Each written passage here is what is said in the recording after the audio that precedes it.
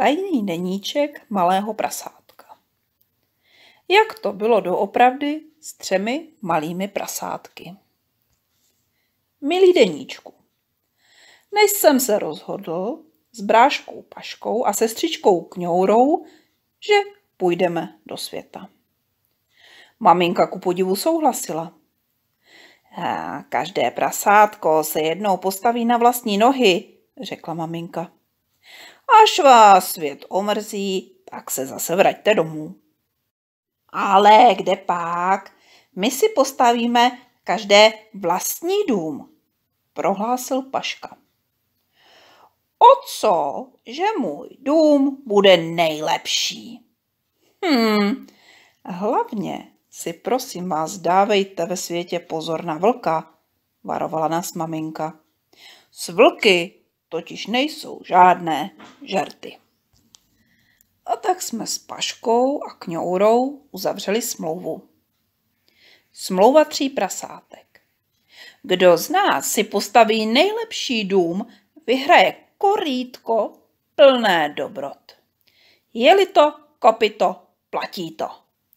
Podepsání Paška, Kňoura a já. Hm, milý deníčku, není pochyb o tom, že já sásku rozhodně vyhraju. Znám přeci Pašku a Kňouru, ne?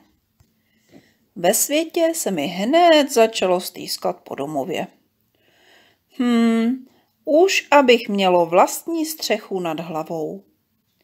V tom nás míjí venkovan snůší slámy. Je, sláma, no jasně, to je ono, jásá bráška Paška.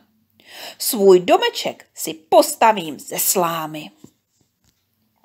Milý deníčku, já, Pašku varovalo.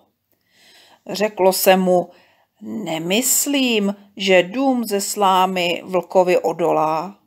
Ale Paška hm, neposlouchal a stejně se pustil do stavění domu. My s Kňourou jsme pokračovali v cestě. No a jak to dopadlo s Paškovým domem z té slámy? To jsme se dočetli v poledních novinách. V nich stálo. Přinášíme reportáž přímo z místa neštěstí. Prasátko jménem Paška právě dokončilo z brusu nový rychlodům ze slámy. Kde se vzal, tu se vzal, stojí u domku vlk. Hned začal vyhrožovat. Prosádku, vylez ven z toho směšného domu, nebo ti ho zničím. Majitel domu ani nedutal. Výtržník své výhrušky bohužel naplnil. Zhluboka se nadechla, mocně foukl, no a domek ze slámy byl ten tam. Majiteli domku se naštěstí podařilo včas uprchnout. Rada čtenářům. Stavějte domky z materiálu pevnějších než je sláma.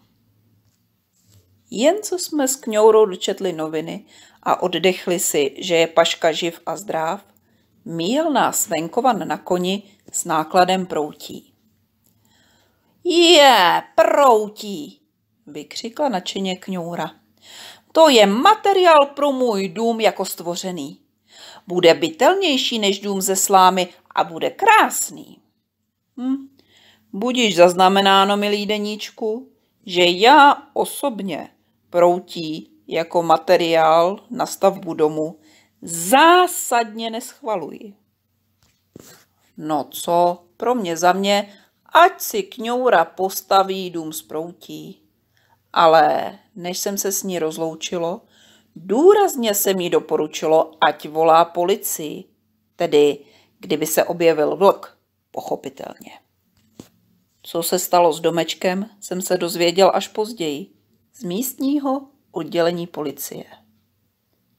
Protokol z místa činu. 15.00. Hlášen neoprávněný vstup na soukromý pozemek. 15.05. Po příjezdu na místo činu nachází policie uprostřed rozvalin domu z proutí jeho šokovanou majitelku. v dálce spatřen pachatel na útěku, který je identifikován jako vlk. 15.06. Majitelka nemovitosti slečna Kňoura uvádí do protokolu, že pachatel ji nejprve slovně urážel, vysmíval se jejímu domku a poté ho mocným fouknutím sfouknul. 15.10. Majitelka opouští rozvaliny domu a odchází neznámo kam. 15.11. Je vyhlášeno pátrání po neznámém pachateli. 23. srpna podpis strážmistr Rypáček. Toto všechno, jak už jsem uvedlo, jsem se dozvědělo až později. Mělo jsem totiž štěstí. Potkalo jsem obchodníka se stavebním materiálem. Bingo! Cihly a cement. Postavím si dům, který bude stát na věky. Nejdřív jsem si nakreslilo podrobné plány. Při stavbě domu se nesmí vůbec nic ošidit. No a pak jsem se pustilo do práce. Můj dům z cihel byl hotov ještě před setměním. Sotva jsem si zatopilo v krbu a pověsilo nad ohniště velký kotel s vodou, dorazili mý sourozenci. Pánečku, to bylo shledání. Můj dům z cihel je dost velký pro všechny. Ale pozor, milý deníčku, vlk totiž nikdy nespí. Za dveřmi se ozvalo výsměšné funění a pode dveřmi se objevila navštívenka. Firma Bum a Bác, demolice všeho druhu. Inženýr Vlk, odpovědný vedoucí. Odpověď jsem napsalo na zadní stranu a podstrčilo navštívenku pod, pode dveřmi zpátky. Vlku, foukej si, jak chceš, dům z cihel to vydrží. Jenže v zápětí bylo jasné, že vlk se jen tak nevzdá. Přistavil k domu žebřík, vyšplhal na střechu a spustil se do domu komínem. Samozřejmě, že spadl rovnou do kotle s vařící vodou. My tři malá prasátka jsme jen otevřela dveře. Vlk se vyškrábal z kotle a s bolestným vytím vyrazil ze dveří, jen se za ním zaprášilo. Hm, řeklo bych, že vlk už se nikdy nevrátí. A kdo podle tebe, milý deníčku, vyhrál tu naši sásku?